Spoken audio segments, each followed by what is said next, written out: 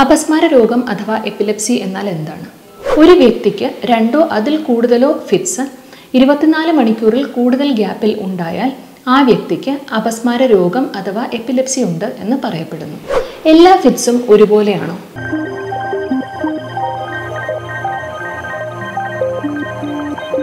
നമസ്കാരം. ഞാൻ ഡോക്ടർ സൗമ്യ. എറണാകുളം ലിസി ഹോസ്പിറ്റലിൽ കൺസൾട്ടന്റ് ന്യൂറോളജിസ്റ്റും എപ്പിലെപ്സി സ്പെഷ്യലിസ്റ്റുമാണ്. നമ്മുടെ സമൂഹത്തിൽ വളരെയധികം മിഥ്യാധാരണകളുള്ള ഒരു അസുഖമാണ് അപസ്മാര രോഗം അഥവാ എപ്പിലിപ്സി. ഇതിനെക്കുറിച്ചുള്ള ചില വസ്തുതകൾ എല്ലാവരെയും പരിചയപ്പെടുത്താൻ വേണ്ടിയിട്ടാണ് സംസാരിക്കുന്നത്. അപസ്മാര രോഗം അഥവാ എപ്പിലെപ്സി എന്നാൽ എന്താണ്? നമ്മുടെ മനുഷ്യന്റെ മസ്തിഷ്കത്തിൽ ഏകദേശം എൺപത്തിയാറ് ബില്യൺ ഞരമ്പുകളാണ് ഉള്ളത്. ഇത് തമ്മിൽ സംവദിക്കുന്നത് ചില ഇലക്ട്രിക്കൽ സിഗ്നൽസിന്റെയോ കെമിക്കൽസിന്റെയോ സഹായത്തോടു കൂടിയാണ്. നമ്മുടെ ബ്രെയിനിന്റെ പൂർണമായോ അഥവാ അല്ലെങ്കിൽ ചില ഭാഗത്തും അനിയന്ത്രിതമായ ഇലക്ട്രിക്കൽ സ്റ്റിമുലേഷൻ അഥവാ വൈദ്യുത പ്രവാഹം ഉണ്ടാകുമ്പോൾ ഉണ്ടാകുന്ന രോഗലക്ഷണങ്ങളെയാണ് നമ്മൾ ഫിറ്റ്സ് അഥവാ സീഷർ അഥവാ ജെന്നി എന്ന് പറയുന്നത്. ഒരു വ്യക്തിക്ക് രണ്ടോ അതിൽ കൂടുതലോ ഫിറ്റ്സ് ഇരുപത്തിനാല് മണിക്കൂറിൽ കൂടുതൽ ഗ്യാപ്പിൽ ഉണ്ടായാൽ ആ വ്യക്തിക്ക് അപസ്മാര രോഗം അഥവാ എപ്പിലെപ്സി ഉണ്ട് എന്ന് പറയപ്പെടുന്നു.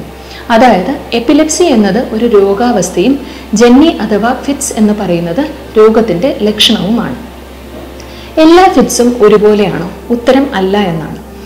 ഫിറ്റ്സിനെ ബ്രെയിനിന്റെ ഏത് ഭാഗത്തു നിന്ന് അത് ഉദ്ഭവിക്കുന്നു എന്നതിന്റെ അടിസ്ഥാനത്തിൽ രണ്ടായി തരംതിരിക്കാം. ബ്രെയിനിന്റെ രണ്ട് ഭാഗത്തു നിന്നും ഒരേപോലെ ഉദ്ഭവിച്ച് അത് പെട്ടെന്ന് തന്നെ ബ്രെയിൻ മുഴുവൻ വ്യാപിച്ചാൽ അതിനെ ജനറലൈസ്ഡ് ഫിറ്റ്സ് എന്ന് പറയുന്നു. അതിന്റെ ലക്ഷണമാണ് രോഗി കണ്ണ് മേൽപോട്ട് പോവുക കൈകാൽ ഒരുപോലെ ബലം പിടിക്കുക താഴെ വിടുക വെട്ടിവിറയ്ക്കുക അറിയാതെ മലമൂത്ര വിസർജനം നടത്തുക എന്നത്. എന്നാൽ ബ്രെയിനിന്റെ ഏതെങ്കിലും പ്രത്യേക ഭാഗത്ത് നിന്ന് മാത്രം ഉദ്ഭവിച്ച് അത് പിന്നെ വികസിക്കുന്ന മറ്റ് ഭാഗത്തേക്ക് വ്യാപിക്കുമ്പോഴാണ് അതിനെ ഫോക്കൽ ഫിറ്റ്സ് അഥവാ ഫോക്കൽ സീഷേഴ്സ് എന്ന് പറയുന്നത്. ഇതിന്റെ ലക്ഷണങ്ങൾ അത് ബ്രെയിനിന്റെ ഏത് ഭാഗത്ത് നിന്നാണ് തുടങ്ങുന്നത് എന്നതിന് അനുസരിച്ച് വ്യത്യാസപ്പെട്ടിരിക്കും. ഒന്നുകിൽ രോഗി ചെയ്തുകൊണ്ടിരിക്കുന്ന പ്രവൃത്തി പെട്ടെന്ന് നിർത്തി വിദൂരതയിലേക്ക് നോക്കിക്കൊണ്ടിരിക്കുന്നതാകാം രോഗലക്ഷണം. അല്ലെങ്കിൽ ചിലപ്പോൾ തലയോ കണ്ണോ ഒരു വശത്തേക്ക് അനിയന്ത്രിതമായി തിരിഞ്ഞു പോകുന്നതാവാം രോഗലക്ഷണം. അല്ലെങ്കിൽ ഒരു വശത്തെ മാത്രം കയ്യോ കാലോ കൂച്ചി പിടിക്കുന്നതാകാം രോഗലക്ഷണം. ഈ ഫിറ്റ്സ് ഏത് പ്രായത്തിലാണ് കൂടുതൽ കാണുന്നത്? കൂടുതലായി അത് കാണപ്പെടുന്നത് കുട്ടികളിലും അതുപോലെ അറുപത് വയസ്സിന് മേലെയുള്ള മുതിർന്നവരിലുമാണ്. എന്നിരുന്നാലും നമ്മുടെ ഒരു വ്യക്തിയുടെ ജീവിതത്തിൽ ഏത് സമയത്ത് വേണമെങ്കിലും ആദ്യമായി ഫിറ്റ്സ് ഉണ്ടാകാം. ഏത് പ്രായത്തിൽ വേണമെങ്കിലും. അതിന്റെ കാരണങ്ങളും വ്യത്യാസപ്പെട്ടിരിക്കും. അത് നവജാത ശിശുവിൽ നിന്നു മുതൽ മുതിർന്നവരിൽ വരെയാകാം ആദ്യത്തെ ഫിറ്റ്സ് അനുഭവപ്പെടുന്നത്. നവജാത ശിശുവിൽ കാണുന്നതിന് കോമൺ ആയിട്ട് കാണുന്ന കാരണങ്ങൾ എന്താണെന്ന് വെച്ചാൽ ജനിക്കുന്ന സമയത്തുള്ള കോംപ്ലിക്കേഷൻസ് ബ്രെയിനിലേക്ക് ഓക്സിജൻ കുറവുണ്ടാകുന്നതാണ് കോമൺ ആയി കാണുന്ന കാരണം. പിന്നെ ബ്രെയിൻ നമ്മുടെ രക്തത്തിലുള്ള ലവണങ്ങളുടെ വ്യത്യാസമാണ് മറ്റൊരു കാരണം. കുറച്ചുകൂടി മുതിർന്ന കുട്ടികളിൽ കാണുന്ന കാരണം പനിയോട് പനിയോടനുബന്ധിതമായ ഫിറ്റ്സ് അതായത് ഫെബ്രൈൽ സീഷ്യസ് അല്ലെങ്കിൽ ബ്രെയിനിന്റെ വികാസത്തിൽ വരുന്ന വ്യത്യാസങ്ങൾ ചില തരം ട്യൂമേഴ്സ് ഇവയാണ് കോമൺ ആയി കാണുന്ന കാരണങ്ങൾ.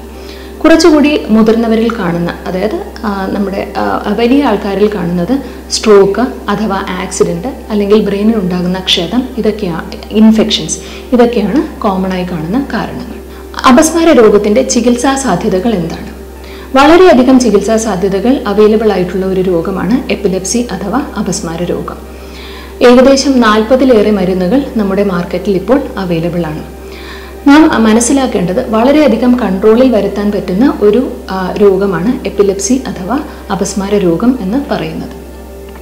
വെറും രണ്ട് മരുന്ന് കൊണ്ട് ചില ചിലപ്പോൾ ഒരു ഒരു മരുന്ന് കൊണ്ടോ കൂടിപ്പോയാൽ രണ്ട് മരുന്നുകൾ കൃത്യമായ ഡോസിൽ കൃത്യമായ കാല കാലഘട്ടത്തിൽ കഴിച്ചാൽ ഏകദേശം അറുപത് മുതൽ അറുപത് എഴുപത് ശതമാനം വരെ ആളുകൾക്ക് ഫിറ്റ്സ് കൺട്രോൾ കംപ്ലീറ്റായി കൺട്രോൾ ചെയ്യാനോ ഒരു പരിധി വരെ കൺട്രോൾ ചെയ്യാനോ സാധിക്കുന്നതാണ്.